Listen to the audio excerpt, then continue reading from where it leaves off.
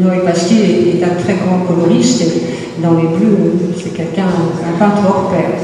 Vous voyez toutes ces, toutes ces nuances. euh, et c'est assez beau. Et insister sur le côté structurel de l'œuvre, c'est-à-dire que d'habitude dans l'abstraction lyrique, si vous connaissez les œuvres de Georges Mathieu, etc., bon, ce sont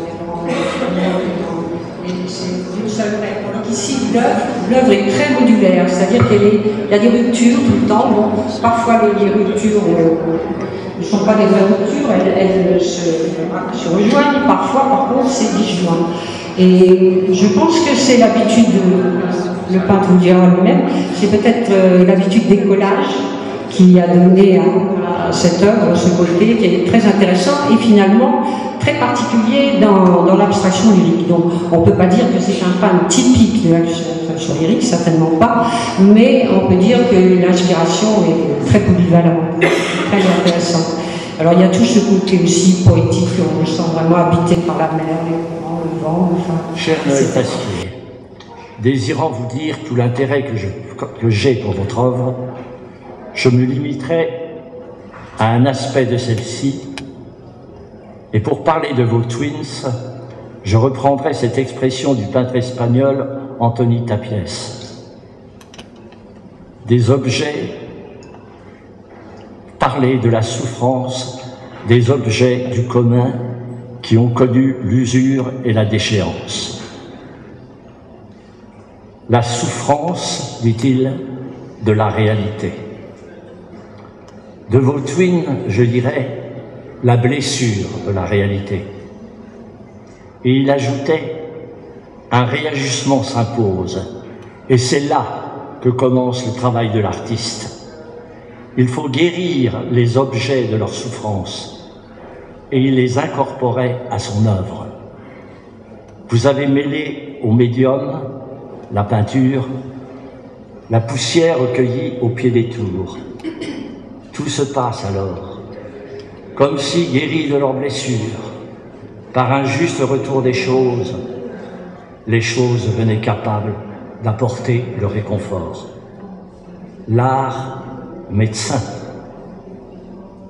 faire bien quelque chose, œuvrer, construire, créer, structurer, donner forme, c'est amener quelque chose à l'existence.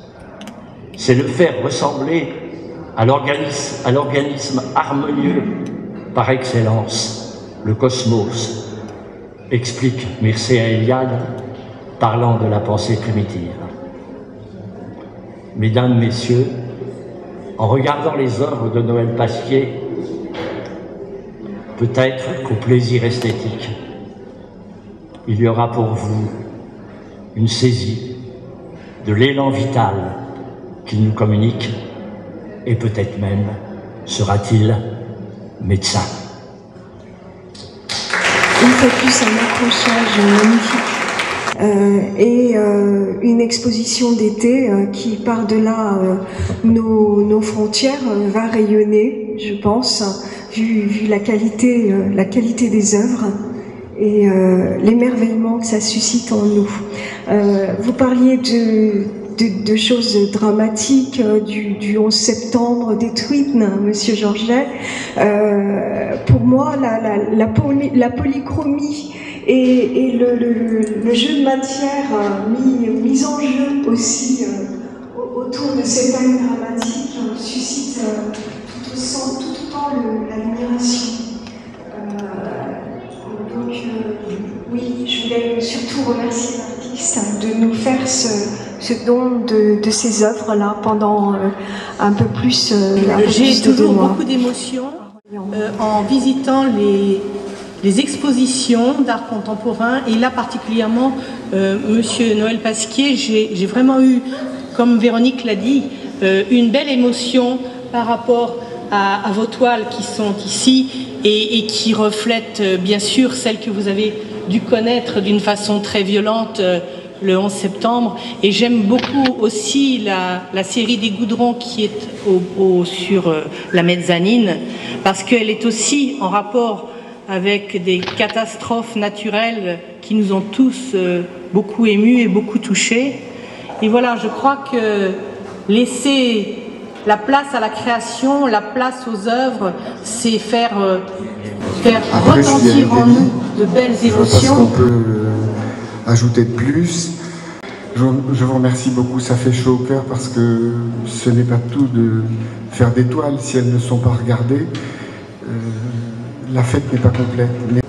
Je suis très heureux de cette rencontre avec euh, Marivonne Georget. C'est dommage qu'on ne soit pas connu plus tôt, parce que le regard qu'elle a posé sur mon travail m'a fait progresser et m'a fait avancer.